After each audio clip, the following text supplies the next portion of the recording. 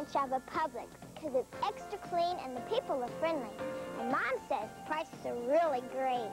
Prepare a delicious, untrimmed, boneless whole beef brisket for dinner. It's just $1.49 a pound. Serve a side dish of green asparagus while it's only 89 cents a pound. Try it with a hollandaise sauce for a taste-tempting flavor. After dinner, enjoy a cup of Chase & Sanborn coffee. The one-pound can is only $1.89. Limit one, please. At Publix, where shopping is a pleasure.